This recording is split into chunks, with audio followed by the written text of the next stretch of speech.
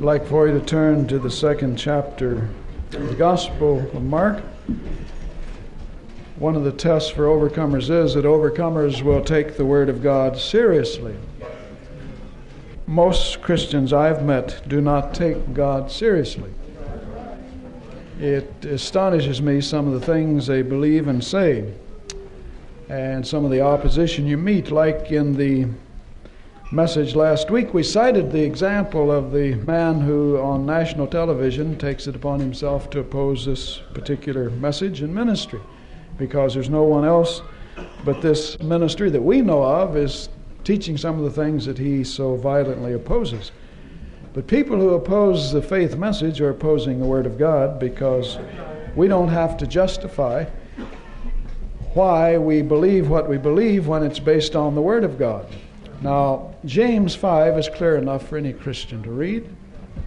So, a person who opposes the faith message is simply admitting he doesn't recognize the message of the Bible when he hears it.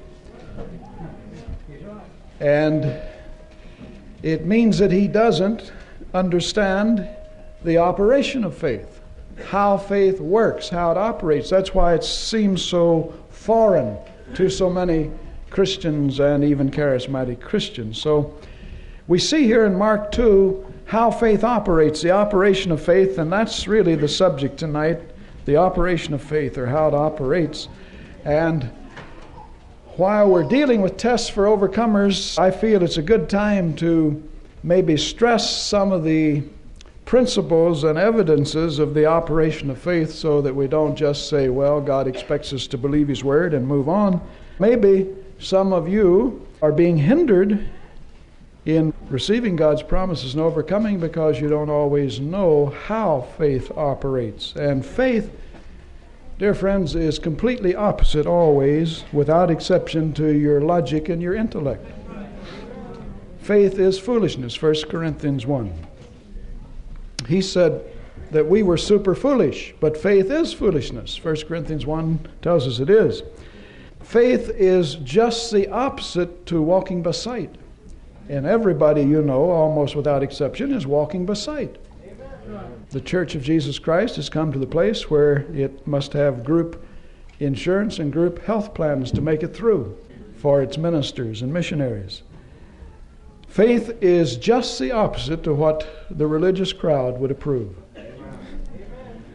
Now, don't be offended by the term religious crowd because if you will start advocating the message of faith and teaching and preaching and walking it, you'll find out that that's what will oppose you is the religious crowd. And you'll begin to speak of the religious crowd that exists today just like it did in Jesus' day, that want nothing to do with Jesus but only the loaves and fishes. Again, he entered into Capernaum after some days, and it was noised that he was in the house, and straightway Many were gathered together, insomuch that there was no room to receive them, no, not so much as about the door, and he preached the word unto them. And they come unto him, bringing one sick of palsy, which was borne of four, and when they could not come nigh unto him for the crowd, they uncovered the roof where he was, and when they had broken it up, they let down the bed wherein the sick of palsy lay. And when Jesus saw their faith, he said to the sick of palsy, Son, thy sins be forgiven thee. But there were certain of the scribes sitting there, reasoning in their hearts, Why does this man speak blasphemies? Who can forgive sins but God only? And immediately when Jesus perceived in his spirit that they so reasoned within themselves, he said unto them, Why reason ye these things in your hearts? Whether it be easier to say to the sick of palsy, thy sins be forgiven thee, or to say, Arise and take up thy bed and walk, but that you may know that the Son of Man hath power on earth to forgive sins. He saith to the sick of palsy, I say unto thee, Arise and take up thy bed, go thy way into thy house. And immediately he arose, took up his bed, and went forth before them all, insomuch that they were all amazed and glorified God, saying, We never saw it on this fashion. And so here we see the operation of faith in the account of the four men carrying the one sick of palsy and the events that took place. Among the many instances in the Word of God of healing, some are outstanding examples of the operation of faith. Genuine faith is really a privilege to watch in operation because it's bold and fearless. We're talking about faith now. Bold and fearless, persistent, unwavering in its determination to receive whatever God has promised, not to take a no for an answer. Now, some of the substitutes for faith that are sometimes set forth as Bible faith lack the characteristics of genuine faith. That's why we want to look at some of them tonight. They lack the boldness and persistence that you see here in Mark 2. Because you see, genuine faith will not be denied. It'll not be denied. Genuine faith will find a way into the presence of Jesus. When one thing hindered these men and another thing hindered them, they just found a way into his presence. Genuine faith will persist till it finds a way into the presence of Jesus with the need. Take the need to him. Genuine faith will not be hindered by any obstacle in its way to Jesus. In fact, genuine faith will remove whatever hinders it, whether it's tearing up a roof or pulling down the strongholds of Satan. Now, in Mark 2, we see here the operation of faith. First of all, in verse 3, we see the need. And they come unto him bringing one sick of the palsy. So, first of all, we have a need. And you won't have to look very far in our day to find where needs are. You won't have to look beyond the church of the Lord Jesus Christ because it's filled with needy people. Poor in mind and body and soul and spirit. Needy people, sick and dying by the thousands because they don't believe the Word of God. Many of them dying on the operating table because they put themselves in the hands of the medical technicians. Many of them dying on the operating table, many of them, hundreds of them, thousands of them, spending all they have, and like the woman with the issue of blood, rather than getting any better, they're getting worse. And it's all because, you see, they do not believe the Word of God. So when we begin to see the need set forth here, we don't have to look beyond the church. But God helped charismatics to once more take His Word seriously, as they did in the early days, begin to believe Him, began to practice and to proclaim what the Word of God says about divine healing, about faith, to once more to believe His promises, as James 5, Mark 16, Psalm 103, Isaiah 53, 4, Matthew 21, 22, Mark 11, 24, Exodus 15, 26, 1 Peter 2, 24, and on and on. Clear promises of the Word of God to take him seriously at his word. Many Christians never take God seriously. That's why they never take a physical or material need to God.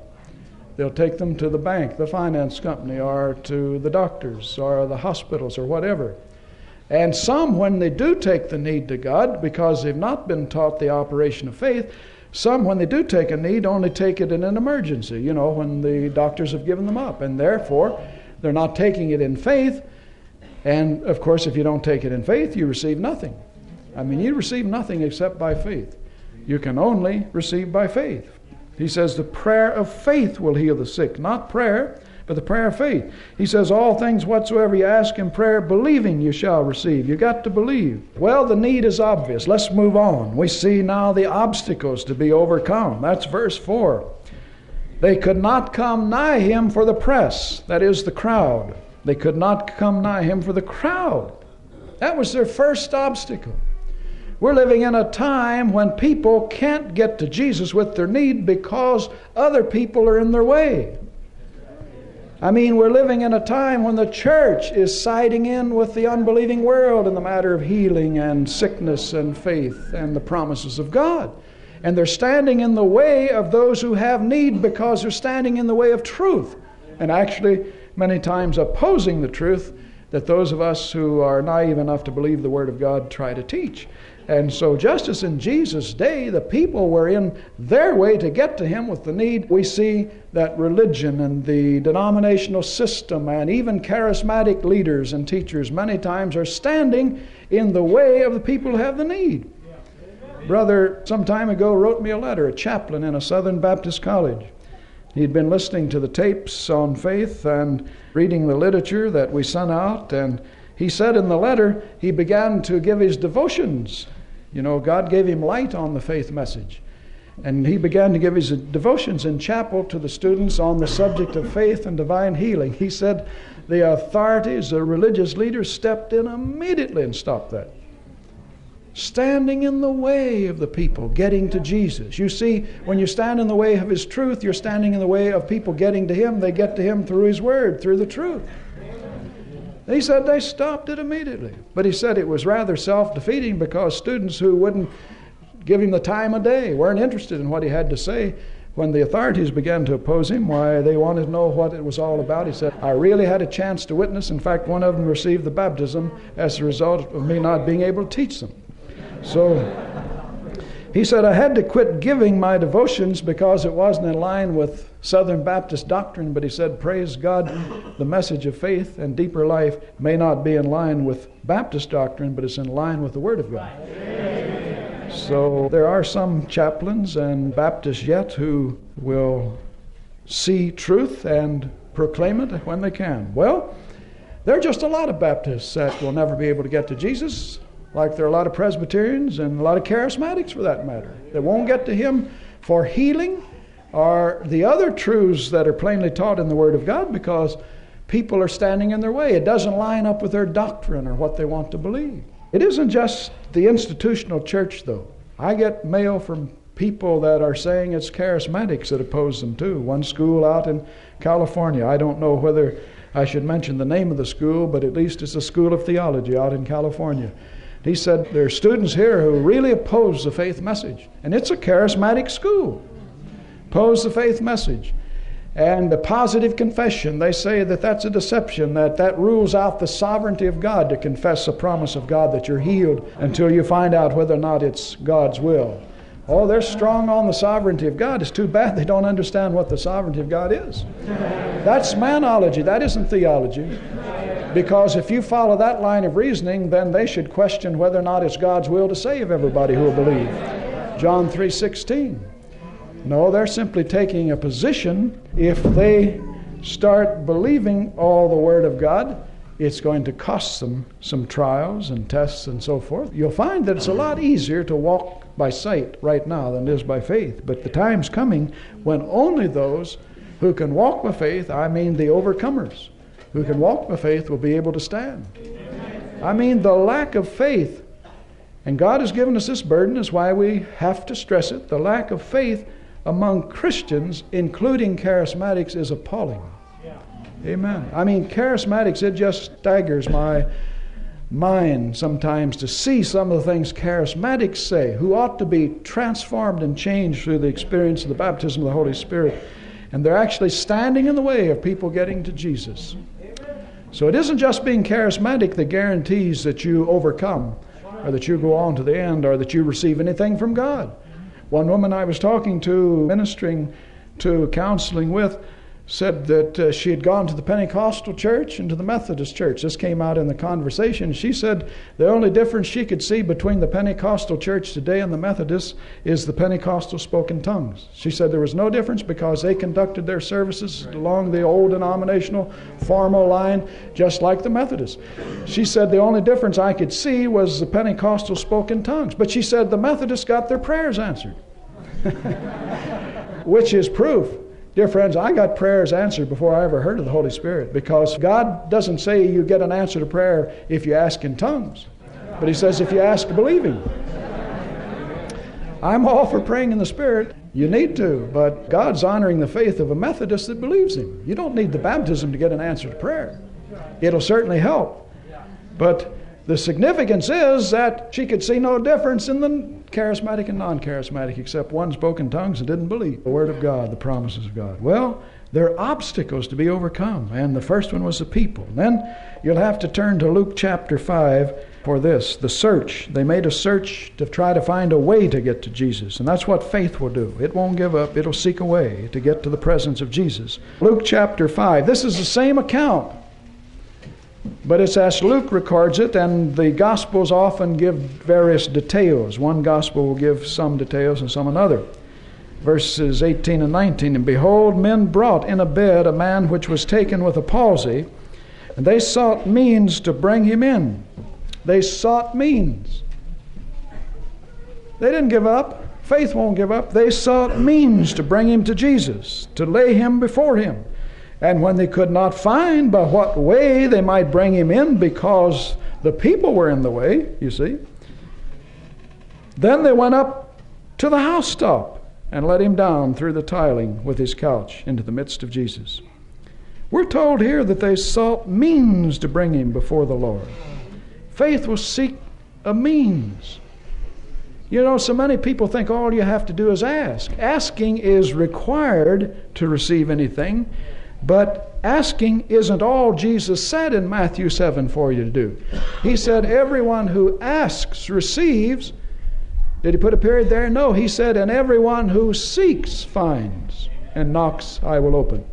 So the kind of asking we must do is the kind of asking that'll seek a way to find the answer. Now, when Jesus said that he that seeks shall find isn't what is so popularly taught today that you're supposed to seek and tarry to see if it's God's will.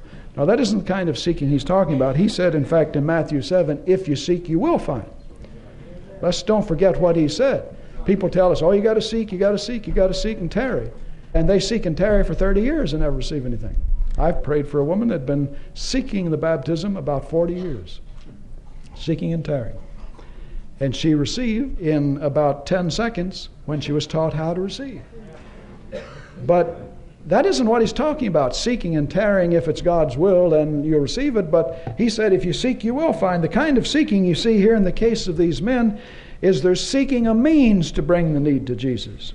Faith will seek the way. There's no question but that he would be healed if they could find the way to Jesus.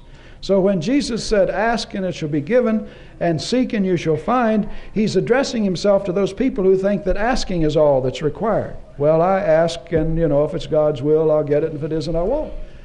No, that isn't faith.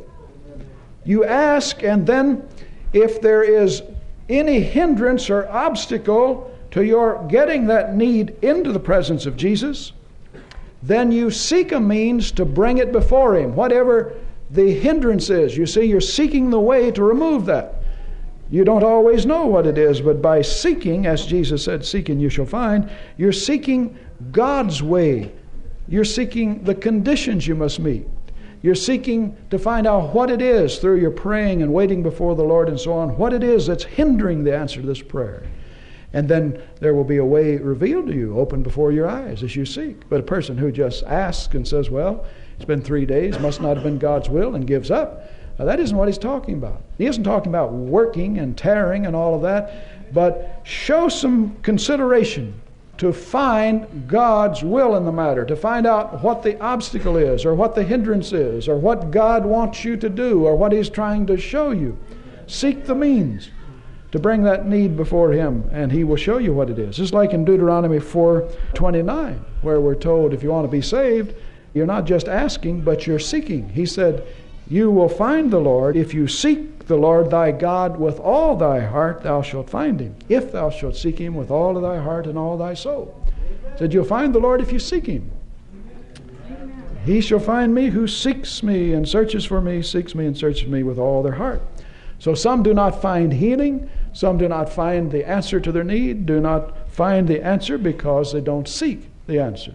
They're not interested enough to seek what it is that's hindering it or what the conditions are for receiving. Or if they do seek, they don't seek with a whole heart. They seek half heartedly. And half hearted seekers get about what they seek for nothing.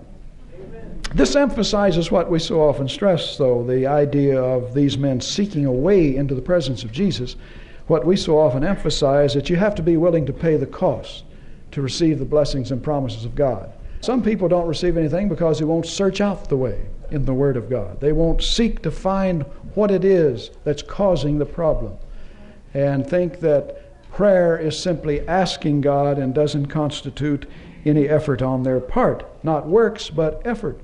And this is what distinguishes genuine faith from substitutes. Faith always seeks a way. Now, verse 4, we see something else here. We see the opposing circumstances.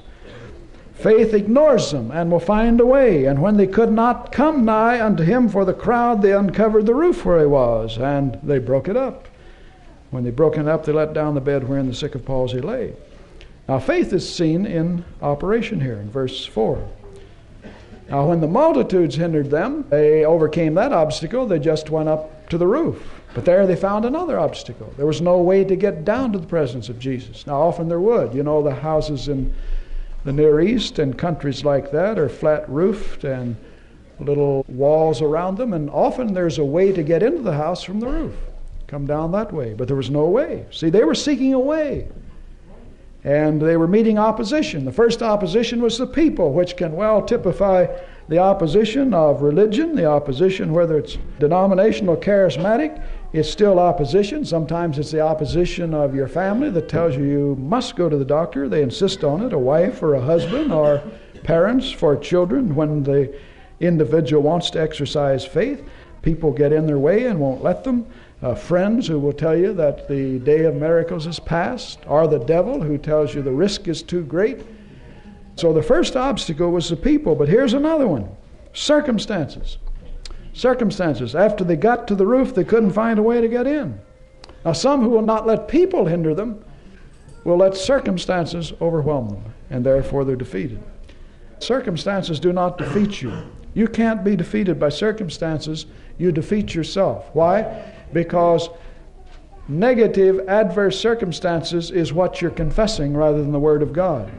Like Peter, he was confessing the wind and the waves. He was not confessing the word that Jesus gave him yes, you can walk on the water to me. Circumstances cannot defeat you, they can only show you whether or not your faith is overcoming faith or not, genuine faith. That's all circumstances do. People always blame circumstances. It would amaze you if you had a little earplug into what goes on up here. Not always. Praise God, some don't even come with a need, just come and say, Thank God for the word. And I'm not criticizing people who come with their needs, but if you could just tune in up here sometime, or in there, or over the phone, or with our mail, it would amaze you how people who've sat under this word months and years stand here and confess their negative circumstances. I know that I shouldn't be saying this, they will say, or not even aware that they're confessing the negative circumstances will proceed to do that. Dear friends, we'll be as patient as God will give us the grace with you. If it takes 20 more years before He comes, or 50 or whatever, we're going to keep stressing that the operation of faith requires you not to allow circumstances to defeat you because they don't except you confess them.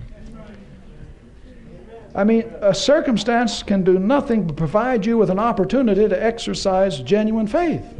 That's all it can do.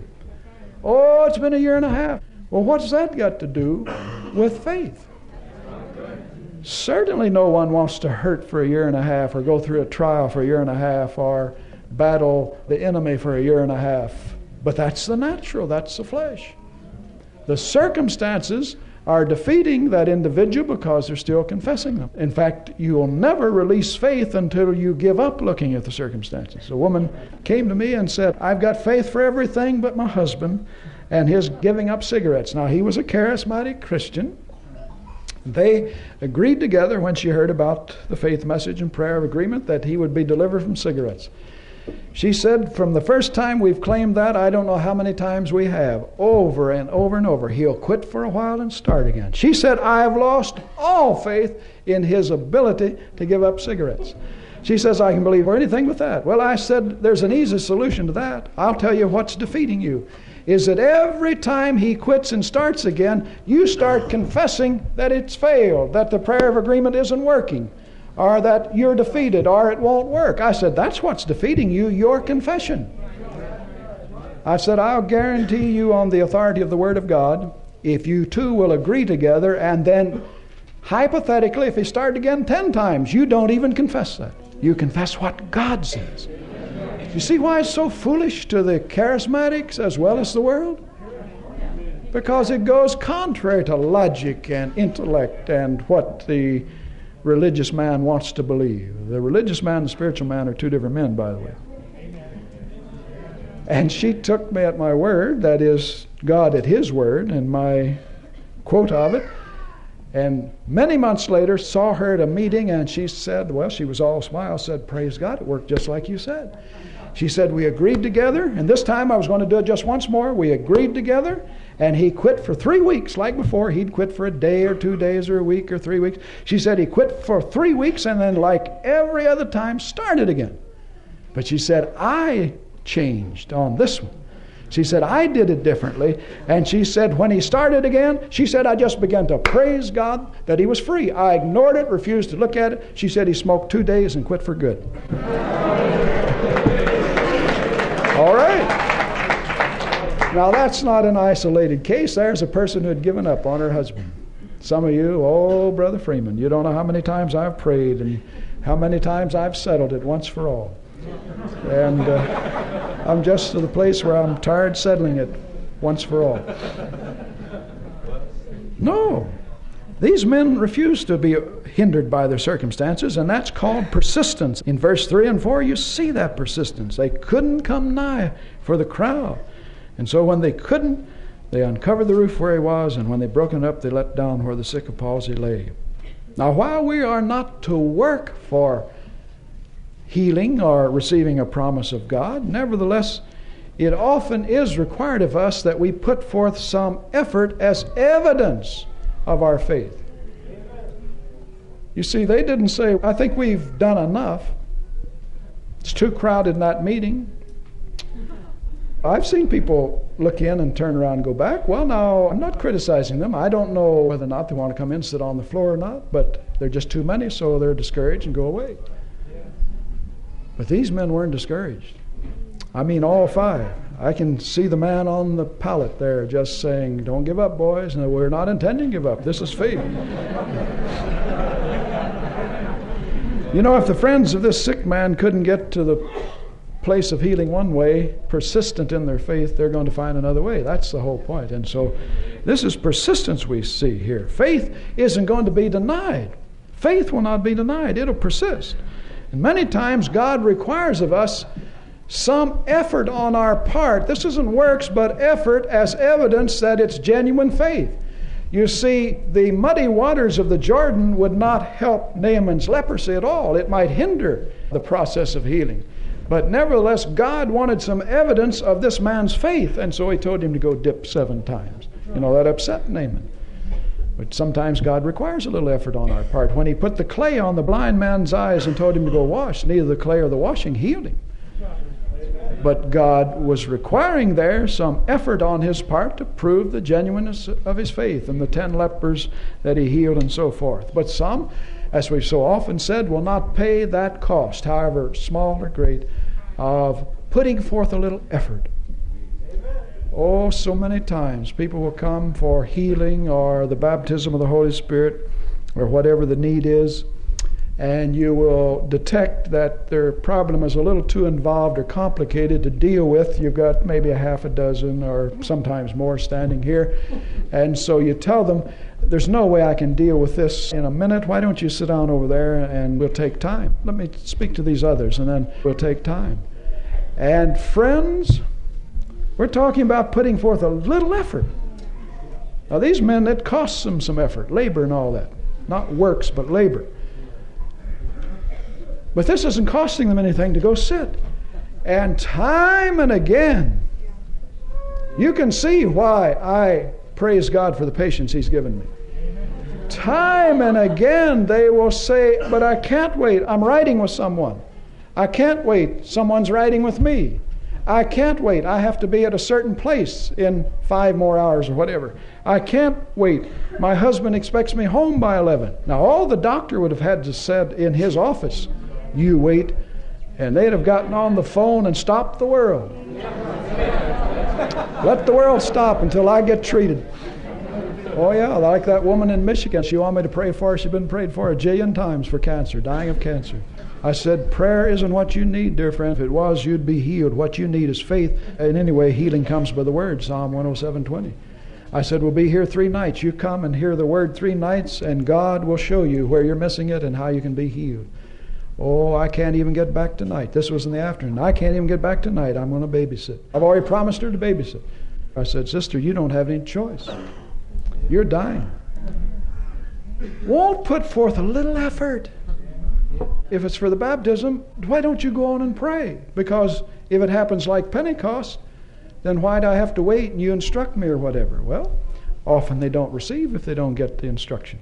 Or sometimes you give the instruction and they don't receive because they didn't hear the instruction or whatever. But anyway, sometimes God's going to require you to put forth a little effort, and that's called persistence here. So follow the example of these men. When people got in their way, instead of looking down, they looked up. Instead of getting discouraged and looking down, they looked up and they saw another way, and so they went up above the crowd. They got away from the people. They got above the people who were in their way. So start looking up, and God will show you another way. You'll find it. Look up. There it is. Oh, I see another way. Well, of course, that wasn't all that was hindering them. Well, verse 4. Now, this is boldness. And when they could not come nigh unto him for the crowd, they uncovered the roof where he was. And when they had broken it up, now do you see that? When they broken it up, they let down the bed wherein the sick of palsy lay. Broken up the roof. This isn't a tent, this is a house. Faith is bold. It will often do things that logic and reason would talk you out of in a hurry. Tearing up the man's roof. That's what it said. Luke said they broke up the tiling. this isn't a tent flap, you know, or getting in some easy, accessible place, but they're tearing up the house. Faith is often required to do things that go contrary to logic and to reason and to what is popular. Naaman go dip seven times in the muddy Jordan. There's no logic to that. Like people who get healed. I have sometimes people say that they're doing certain things to act their faith that the doctors have already told them they can't do. And they're doing it, like getting off their insulin. But they tell me that. They don't ask me if they can, because if they ask me that, then I'm going to say, No, you're not healed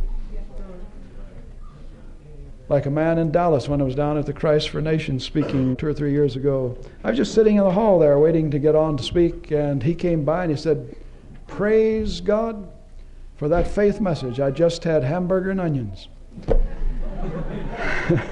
well, I thought, you know, big deal.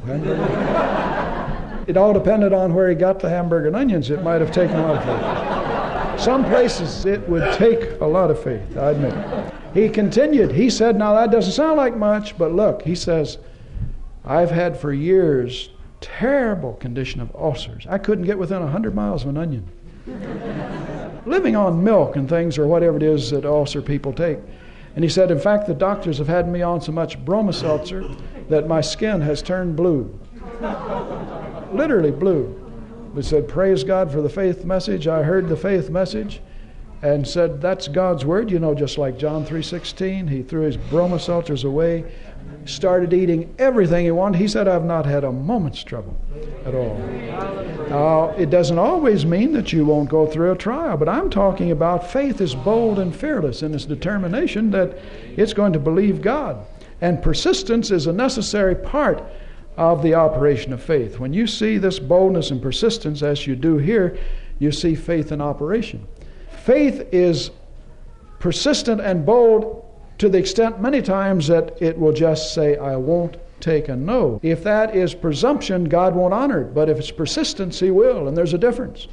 You see, presumption is a wrong spirit, it's trying to force God to do something. But persistence is a humble spirit. It's bold faith, but it's a humble spirit. You can have bold faith and a humble spirit. And I know the difference, and Jesus knows the difference. The Syrophoenician woman had persistence. She wouldn't take a no, and God gave her a yes. I remember speaking one time on healing, and I said at the close, now we're going to pray for the people who want healing tonight, not for the baptism.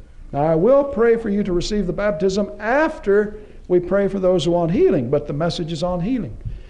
I said, please don't anybody come right now for the baptism. Come after. I'll take a little time to instruct you and show you the promises from the Word and so forth. But don't anyone come now except for healing. I'm saying all this in the middle of my sentence. A man's walking down the aisle.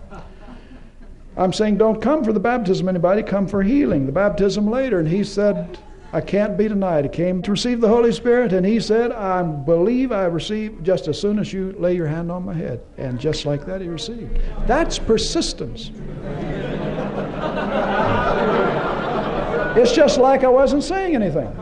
He said, That's what I've come for, and I believe again. Now, there's a difference in saying, I've got it as soon as you pray, and coming trying to receive and hoping maybe you've got something the other 20 didn't have when they prayed for you.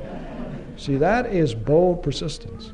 Now, presumption is different. It's a wrong spirit. I know the difference. It was in a charismatic seminar, big high pulpit with a railing around it like this. And I was ministering to some people, and someone down below got a hold of my coat and almost, I mean, I thought I was going over. she said, I am that woman that won't be denied. She meant the woman with the issue of blood, you know, touch Jesus' garment. But I'd never read anywhere where the woman with the issue of blood yanked his coat off. says she touched. You know, faith is a touch. It's bold, but it's a touch. She just touched the hem of his garment. Oh boy, and she wanted special ministry and all of that. It's a long story. It was the day I dealt on occultism and deliverance, and I took about 800 people together through occult deliverance. And she wanted special ministry for deliverance. I said, Weren't you here? I said, I just took all of you through it. No, I left early because someone had to catch a bus, and I. T- well, you know, the most important thing that you can get involved in and get settled are spiritual matters. And people will treat these so lightly, but if the doctor, the lawyer, or the bank says anything, they will cancel everything to obey. Left before it was over because somebody needed to catch a bus. Now, I don't know, maybe you think that's important, but I don't. Not by comparison for any reason. I said, I'm not going to minister special to anyone because I said that we're taking you all through it at once. I, you know, I explained all that in detail, took the people through it. Some got instant healings and some felt spirits leaving and all that. It was a real blessing up in Pittsburgh several years ago. But she insisted I minister special to her. I said, No, here's a tract with the steps in it, and you can take yourself through it just like these people were taken through it here. But that was presumption. She nearly yanked me over the railing. I could tell by the pull it wasn't a pull of faith. Amen. But faith is bold and persistent and won't take a no. No, she wasn't that same woman that I had read about in the Bible. But I see boldness here in tearing up the roof. You're talking many times to people that have never heard the message of faith if they would just get into the Word of God, they'll see faith in operation many times. It just does the unpopular, the unnatural, goes contrary to what is logical and so forth. Now, we're called as overcomers to walk by faith, but there'll be many times you'll just have to be so bold that you'll be taking leaps of faith. And you'll just be leaping beyond the understanding of most other charismatics. But the time is very short. In fact, I've got a letter here from um, another individual that speaks of a vision that God gave him. He said he was listening to the tape on the manifestation of our sonship. And God really ministered that word to him how that time is short and God is preparing us and getting ready to manifest us in great ministry. And he said he was so moved by the message, he fell on his face on the floor, and God gave him a vision as he prayed. He said in the vision he saw a grasshopper growing across a vast land that was dry, and as he would hop along, he would come to great crevices that he couldn't walk around, he would have to leap over them. And again and again, the grasshopper would come to a giant, wide crevice, and he'd have to leap over it. And he said he came to one, there was a bridge there, but God wouldn't let him go across the bridge, made him jump. And he said, God showed me exactly what he wanted me to see that the time is very short, and we're going to have to start submitting to the trials that God is allowing to mature our faith, and God is not going to allow us to go across the bridge or to take shortcuts, but we're just going to have to walk it out. And when we come to those places that just seem impossible, we're going to have to take a leap of faith. You'll always find, like the grasshopper did, you land on the other side and not in the crevice. What I'm saying is, dear friends, we talk a lot about walking by faith in this end time. You're going to have to come to the place where you take these leaps of faith, and God will require that of you through the trials and experiences and so forth that you have, so that you can learn to do what is necessary. And we see here in this account in Mark 2, and that is act on your own faith. You see here in Mark 2 that the faith of these four men who carried the man sick of palsy could only bring him to Jesus. You see, faith of another can only carry you so far. Now, those four men had faith because they overcame all the obstacles and tore up the roof. In fact, we read in verse 5 that when Jesus saw their faith, so he saw all of their faith. But see, the faith of these four men was not for this man, but with this man. That is, they couldn't believe for his healing, for him, but they believed with him. But their faith could only bring him so far, and here's where so many miss it. My teaching you the faith message can only bring you into the presence of Jesus, and that's as far as the message can carry you. From that point on, you're going to have to do like this man sick of palsy. You're going to have to exercise your own faith. Or, to say it another way, the faith of the men, together with the faith of the sick man, could bring them to the presence of Jesus, but that's as far as the others could carry him with their faith. It took their faith to get him there, along with his, because he couldn't walk. But from that point on, once we bring you into the presence of Jesus with this message, from that point on, you've got to believe and act for yourself. Some of us are still having trouble with that. Some people are still finding it difficult in time of trial and testing to act on their own faith, to stand on their own two feet. Now, as I say, as long as God allows it, we'll be patient and keep teaching and instructing. But their time is coming when only those who can stand alone by faith themselves, whether your husband can, or your wife can, or your children can, or Hobart can, or the whole world can, or this church can, you're going to have to be able to stand. See, it'll be no one else at that point, but you, only those will be able to overcome and be used of God in this end time. Some just never mature. Every trial, every decision they have to make, they need help, they need counseling. And you see, this faith message isn't designed for counseling people after you preach the message. The message is the answer. That's why we don't spend a lot of time giving invitations. Invitations in the message. You don't find in the New Testament over and over standing on the street corners giving invitations. They preached the word and people believed it or they didn't. Those who did, they acted. Amen. People have needs who believe the word. They get right up here with them. You know, if it's a need where they say the prayer of agreement or when you pray, I believe, I receive, or whatever. You don't have to give a long, drawn out 20 verse invitation to try to get a person by psychology psychological methods to believe what you've preached the previous hour. You see, that isn't faith on your part. What we're saying is, dear friends, that the teaching is designed to bring you into the presence of Jesus, not in the presence of Hobart or any other minister in this body or anyone else. Oh, yes, we will stand with you and pray with you and counsel with you. That is obvious because we spend a lot of time doing it. But from your side, you're not maturing if you're not seeing that the message is the answer, the message itself is the answer.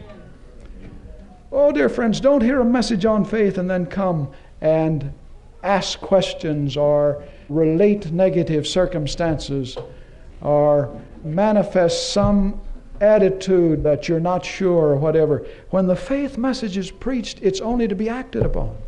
It isn't to be debated and worried over and talked to death and counseled about?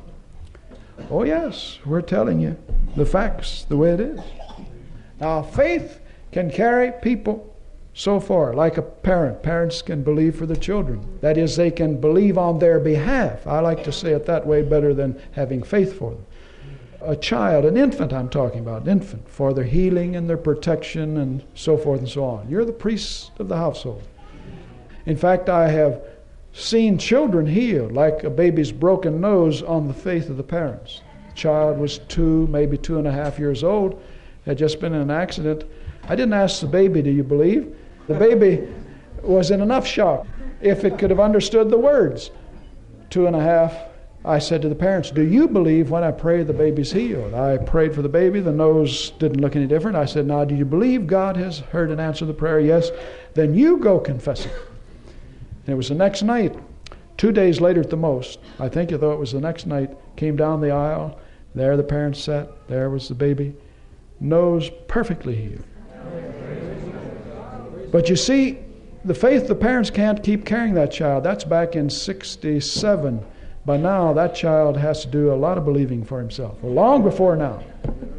You watch me minister to children, if you haven't seen it already, a lot of times four years old. And if I can discern that they're capable of understanding the words, I'll ask them four, Do you believe Jesus will heal you when I pray? You know, parents will bring a child in arms. I'm not an infant, but a child, four, five, at least five years. You know why I ask that? It happens only rarely, but sometimes a child will say, No. Do you believe Jesus will heal you when I pray? No. Do you want me to pray for you? No. I don't pray. Now, maybe some of you would. I don't. Why? Because if they're old enough to say no, they're old enough to say yes. Why do we have to be taught that? Obvious fact. If they're old enough to believe in Santa Claus, they're old enough to believe Jesus.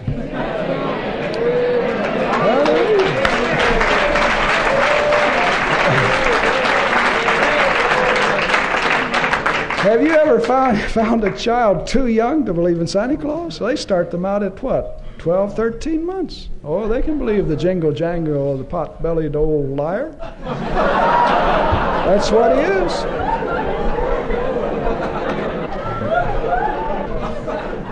That's putting it mildly to what he ought to be called. That's the devil in a red suit. Parents teach their children to lie. They lie to their children and teach them to lie by doing it.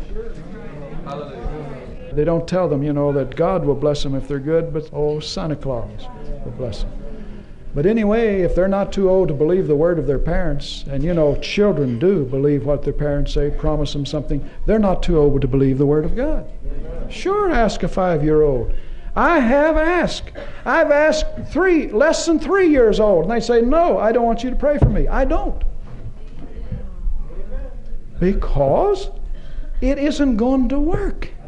Faith, dear friends, we're talking about. The Word of God's talking about. If they don't have faith, it isn't going to work. Why, in and through our church, if some of you can't handle it, put it on the shelf until you can. We've had as young as two and a half year old children saved, baptized in the Spirit, speaking in tongues. Two and a half.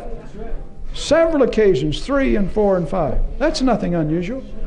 If they can be saved and be baptized in the Spirit, they're old enough to exercise some faith for healing. They don't have to understand all I said in this message, but that's why they need to be sitting under this word and not off somewhere in another group. I'm all for believing children should grow up in church like they did in the Bible and not off in their own meetings being treated like children. You'd be surprised. We had a little two and a half year old used to sit on the front row, knew most of the songs, the courses. Couldn't speak much English, but could sing those songs and pray in tongues, speak in tongues. One brother, I think his youngest was, maybe his was two and a half, but he said, anyway, the child speaks better in new tongues than English. Doesn't know much English, but prays in the Spirit. Three and five year olds. One brother said that three year old fell off his trike, came in crying, Daddy, pray for me to be healed. Three.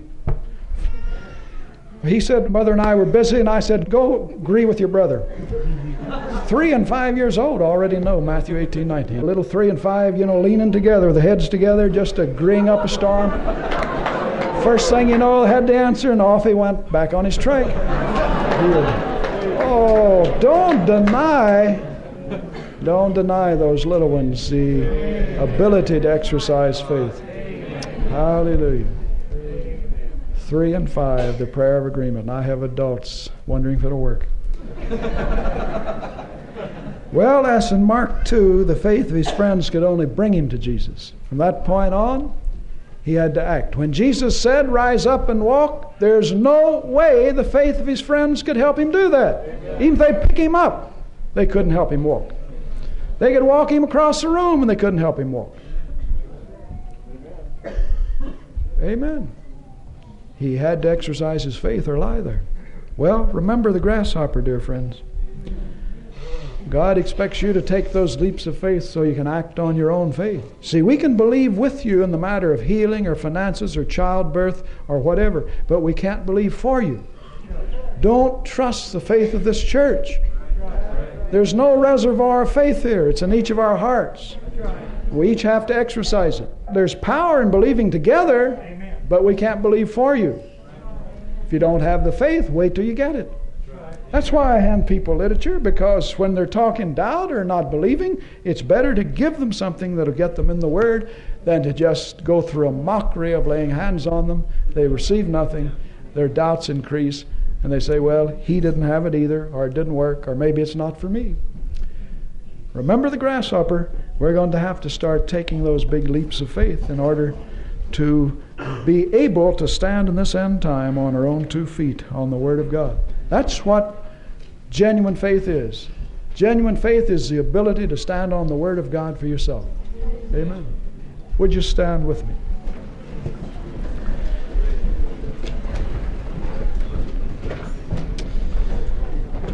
Amen. Hallelujah. Blessed be the Lord. Blessed be the Lord.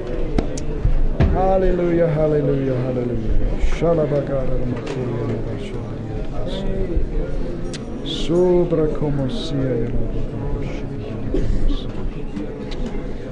Ora te como